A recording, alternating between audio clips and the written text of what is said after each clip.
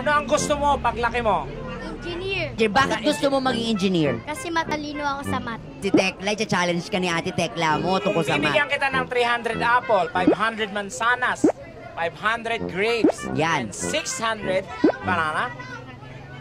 Anong sasabihin mo?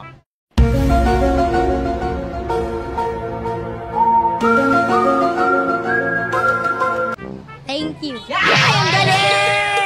Mark Beats. Mark Beats.